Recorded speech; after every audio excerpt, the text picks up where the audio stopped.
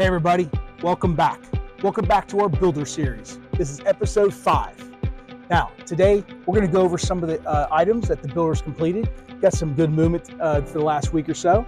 Now, some of the things we're going to be looking at are the pavers around the pool and the back patio pavers turned out really nice.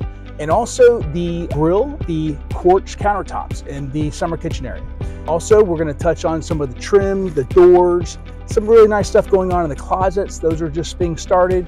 Big thing I want to show you at the end is going to be the ceiling in the great room. It's turned out really nice. It's not done yet either, but it's going to be really it's a it's a great focal point for this property. Thank you for coming back to at our channel at Everything Jax Real Estate. I'm Lauren Somers and this is Stephen Croy. Please don't forget to like this video, subscribe to our channel at Everything Jax Real Estate, ring the bell so you're notified of more videos just like this one, and please leave us a comment below so we know what you want to see. Yeah, absolutely. And hey, we have that website for this particular property at 11239reedisland.com. It's going to be on the screen here 11239reedisland.com. You'll want to see more updates as we go forward. Just go ahead and visit the, that website or also our channel. But at Everything Jax Real Estate. Absolutely. Now, I'm sure you're excited to see this place. Yeah, let's go check it out. Let's get to it.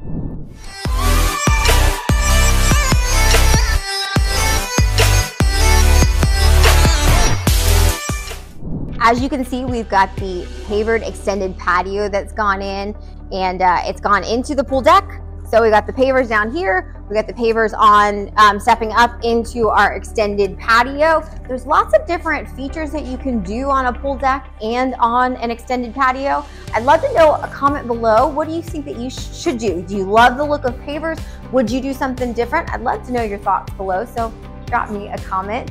And the summer kitchen is coming along. We've got our grill, We've got our quartz countertops. Now, quartz is a pretty durable material, so it is a great choice for an outdoor kitchen like this. And then, of course, our outdoor kitchen is under an overhang, so it's a little bit protected. And then we're gonna continue to finish up. We've got our sink here. We're gonna get our faucet in. We've got some more paint that's gone up. And then we've got our light fixtures that have gone up that are really tying it together because these are the same lights that we have at the front of the house. So we're getting, you know, carrying on our features from the front to the back. One of the things that we forgot to mention at the beginning was the built-ins that are being put in, the custom built-in. So there's kind of like a little mud area. So remember, here's our garage. So we're gonna walk in and we're gonna drop all of our stuff here. And then we've also finished some other trim that I wanna show you. We've put in the closets in bedroom one. So remember we got bedroom one, bedroom two, bedroom three, and then we've got our master. So we've got our closet door, in, eh, closet door in, super tall with our built-in custom closet. This is a really nice upgrade, guys. These are not wire shelves. This is solid wood that's going in. We've got the window seals gone in, and then we've got our eight inch baseboards that have gone in as well. So all the trim is going in, looking amazing. And as Stephen mentioned, they have put in the amazing custom wood tongue and groove ceiling with the exposed beam look. So we're not quite sure what this is gonna finally look like. It may be stained dark, it may be stained light. I'd love to know, leave me a comment below. Would you like to see this dark? Would you like to see this light? Do we wanna keep the natural look? Let me know below. And then also you can see that we've installed the lights up there as well. So looks pretty cool.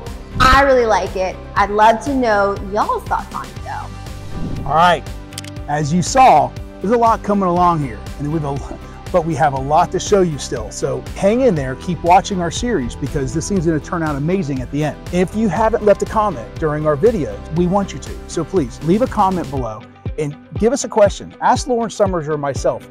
Uh, any questions you have, anything you saw, any have any questions on this house or any other homes in Jacksonville or the Northeast Florida area. We are your experts. And don't forget to check out 11239reedisland.com. 11239 reedisland.com for more details on this house. There's also our information below, so you can always give us a shout with any questions. All right. We'll see you next time on episode six.